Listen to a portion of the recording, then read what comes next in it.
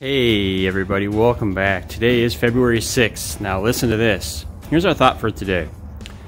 On a dark night, the bright lights of the corner tavern bar look mighty inviting. Inside, there seems to be warm and warmth and good cheer. But we don't stop to think that if we go in there, we'll probably end up drunk, with our money spent and an awful hangover.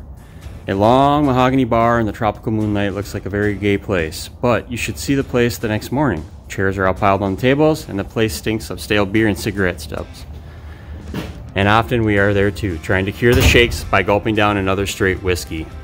Meditation for today God finds amidst the crowd a few people who follow him, just to bear, just to be near him, just to dwell in his presence. A longing in the eternal heart may be satisfied by these new people, these few people. It will let God know that I seek not just to dwell in his presence, but to be near him, not so much for his teaching or message as just to be with him.